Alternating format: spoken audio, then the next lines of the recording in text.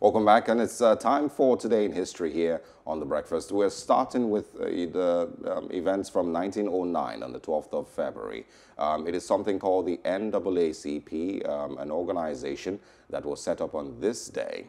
Um, and it's a civil rights organization in the United States that was formed to advance justice for African Americans by, of course, uh, about four or five people: W.E.B. Du Bois, uh, Mary White, uh, Mary White Ovington, uh, Storey, and I.D.A uh, B. Wells. Um, it really was uh, started, you know, as a result of um, many, many years of racial injustice and, of course, the race riot in Springfield, Illinois in 1908. That really was a catalyst for the foundation of the NAACP. Uh, the rate of lynching of blacks at that time also was one of the major catalysts that started the um, formation really of the NAACP. The purpose really was to ensure the political, educational, social, and economic equality of rights of all persons and to eliminate racial hatred and racial uh, discrimination. Um, once again, it started 12th of February 1909, uh, which was apparently marking the birthday of President Abraham Lincoln, who emancipated black slaves. Prior to the NAACP, there was something called the National Negro Committee, which was also in existence and, of course, played its own role to protect blacks and to um, help with the same advancement of colored people. Um, you know, like I said earlier, the race riot in 1908 in Springfield, Illinois, um, was one of the catalysts. And um, these names that I had mentioned earlier sent out solic solicitations to um, 60 prominent Americans uh, to um, support the idea of the NAACP. Um, it eventually was started. It won a major legal victory in 1915 when the Supreme Court declared an Oklahoma grandfather clause. Um, the NAACP also helped organize the March on Washington for Jobs and Freedom, at which Dr. Martin Luther King Jr. delivered his I Have a Dream speech. That was a lot, a lot later, um, in the, I think in 1967, I believe.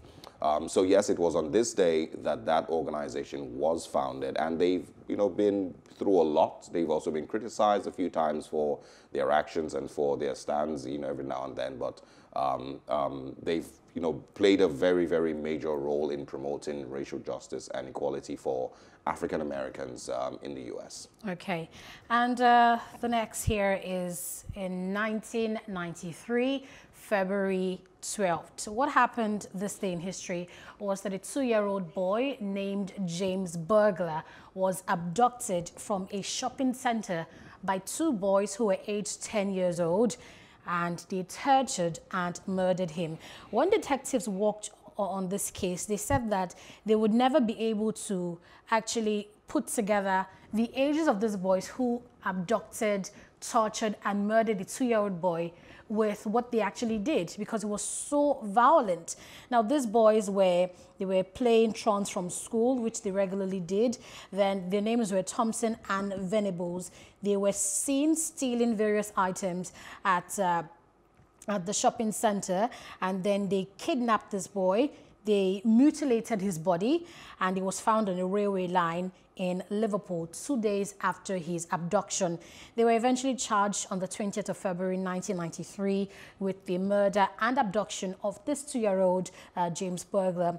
Police actually suspected that it was a, there was a sexual element to the crime. Uh, that was because Bulger's shoes, his trousers, and his underpants had been removed.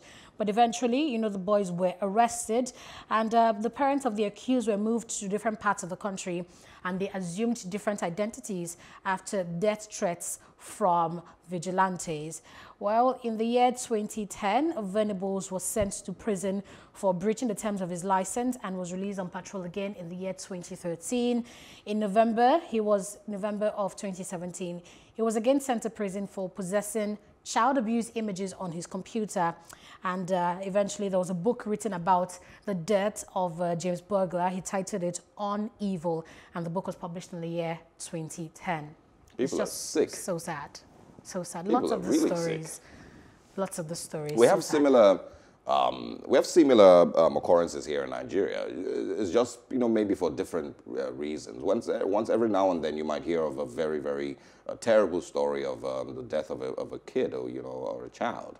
I remember, you know, late 90s, maybe sometime in the 90s, you know, was really popular because, you know, then it, it was mostly of ritual killings and, and some stuff like that.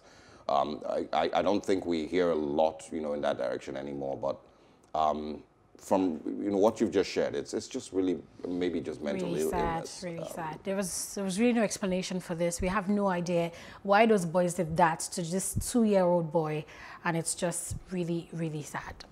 Anyway, that's all we have for you today in history.